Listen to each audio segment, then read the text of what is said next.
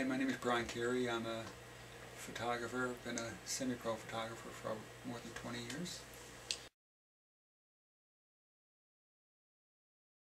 Uh, my knowledge in, uh, in photo photography is uh, essentially self-learned. Um, for the most part, it's a lot of trial and error. Um, I study a lot. I um, I read a lot. I have a small photo photographic library, and I study a lot of uh, art masters. Uh, seriously, around 20 years ago, I decided to um, invest in a studio, so I put a portrait studio in my house, and I was doing portraits of uh, of uh, quite a few local people. So, and I got a lot of experience that way too. And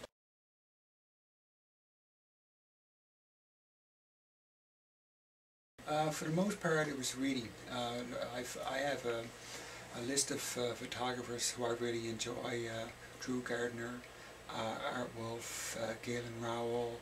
Um, so uh, essentially, a lot of it was at magazines at the time too. I'd follow their work, I'd study their work, and uh, they gave me a lot of inspiration too.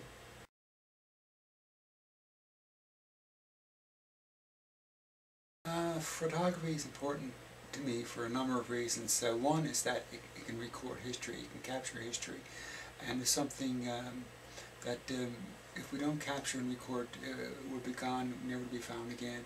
And another reason is that it's a, it's a creative art too. I can use it. Um, I can use it to make compositions. I can use it to compose. I can use it to uh, compress time, encapsulate time, and uh, record images the way I see them.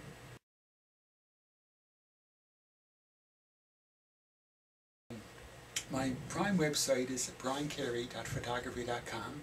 That's uh, B-R-I-A-N-C-A-R-E-Y dot photography.com.